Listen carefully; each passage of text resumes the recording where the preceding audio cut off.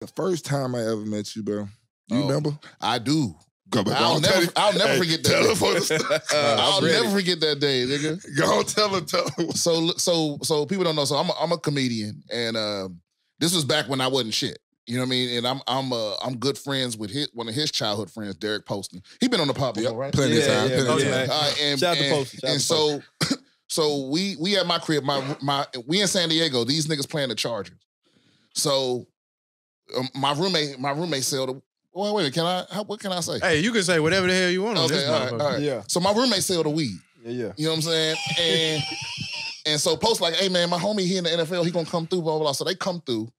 And this is one problem with the NFL. You know how like you know you never see people faces for real. So you Yeah, don't know. yeah, what I'm saying? So Yeah. he so he come through with two other people that's on his team. Mm-hmm. Right. Janoris Jenkins being one. Yeah, Of them. J- yeah. Shout Janoris Jenkins being him. one of them, Shout right? out. But, but I don't know this. Okay. Okay. Right? So so now they in my house. Now they got two like the, two of the like the baddest, most brain dead bitches with them, right? And I'm just I'm fascinated by how like these women are just.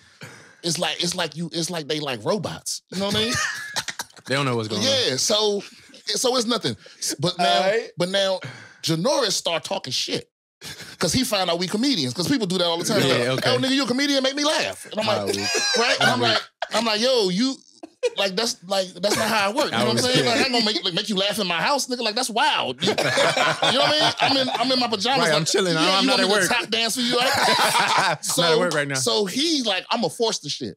He just he so he just started snap snapping on me. You know what I mean? And now keep in mind, I ain't never been around no NFL players. Yeah. These niggas are all, you know, tall, built in a motherfucker. I don't know what shit they on with they mental stable. Because I'm, like, I can hurt your feelings, nigga, but I don't know how you gonna react. right, You know what I'm saying? right, I big right. fact. And, Hell and yeah. so I'm just trying to ignore this nigga. You know what I mean? And then, and so I'm, I'm in the goal of like, I'm like, yo, I can't just keep letting this nigga talk.